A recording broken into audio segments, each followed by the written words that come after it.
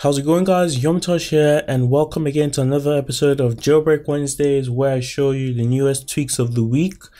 And we'll start it off with the very first tweak, it's called Touch Bar 2. And I vaguely remember the very first Touch Bar, but Touch Bar 2 basically gives you the um, buttons on the screen as you can see here. So 3D touching this button allows you to go home as you just saw there. And this button takes you to your switcher menu which is pretty cool. And this button on the left allows you to go to your previous app So I'm just going to open up settings here. So 3D touching the uh, middle button takes you home and clicking on the arrow back looking button takes you to your previous app. So I'll just open two apps to demonstrate this. So there is app store so clicking on that will take me to the app store as you can see there and this will take me to the switcher and this will take me home so it's not very convenient for me because it pushes everything up and my screen is pretty small. But yeah that's touch bar 2 the next trick is called snap views and if you want to fake the number of views you've gotten on your snapchat well you can do this with snap views.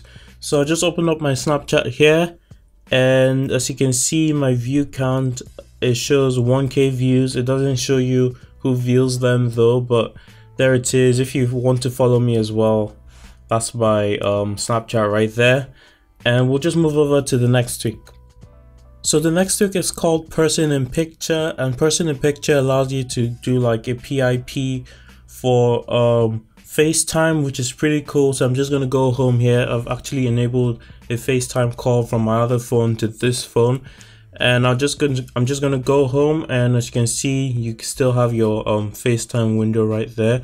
You can disable camera and you can cut the call right from here. So I'm just gonna do that now, and yeah, that's pretty cool. So I've taken the liberty to remove um, touch bar 2 just so I can get on with the rest of the tweaks. And the next one is called power module. So what power module does is give you this style of like um, power modules.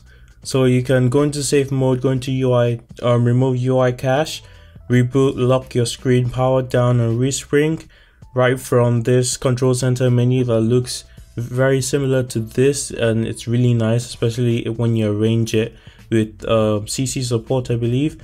So yeah that's one. And you can also enable it to request a confirmation for um, certain um, power modules. So like reboot you don't want to reboot when you don't have like um, you haven't signed your Electra IPA so that's that's a handy feature the next trick is breakthrough and breakthrough basically disables any form of jailbreak detection on your iOS device.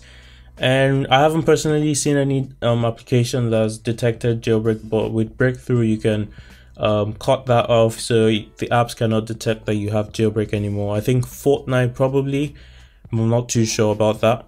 Now if you're a fan of um, the iPhone 10 like status bar but you don't exactly want all the gestures to come with it, this trick is for you. This is called Status Bar X and it basically just gives you the um, iOS 11 or rather iPhone 10 style um, status bar without all the um, gestures.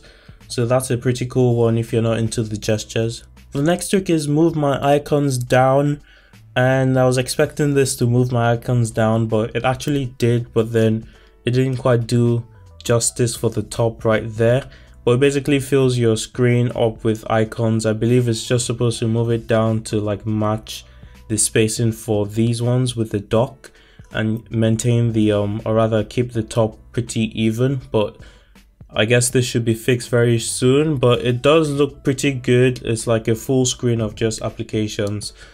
Yeah but it does hamper like the status bar right there. It might be different if you've got fluidity running for the status bar. I've currently disabled it but yeah, let's move my icons down. And the next trick is called monthly icon and monthly con or monthly icon. And it basically allows the um, name of the calendar app to be replaced by the month of your of the current year. So I currently have it as 5th of June or rather 5 and then June below. It looks pretty cool and I'm definitely going to keep this tweak. The next trick is nostalgia and it's probably number nine on this list. See what I did there? And it basically brings back the iOS 9 lock sounds, the keyboard sounds, the notification sounds.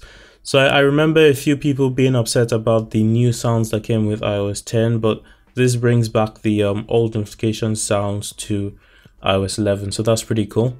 And the last week of today is AmazonNite, and it basically brings a dark mode to the Amazon app if you use that a lot. I haven't currently gotten it working for some reason, I'll have to check but do try it out if you use the Amazon app a lot. I'll just show you here my Amazon app if I can find it. There it is. And well, it doesn't really do anything for me, so yeah. Anyway, that's it for this video and make sure to check out my WWDC related videos on iOS 12 and macOS Mojave and hopefully I'll see you in the next Jailbreak Wednesday video. So yeah, catch you later. Peace.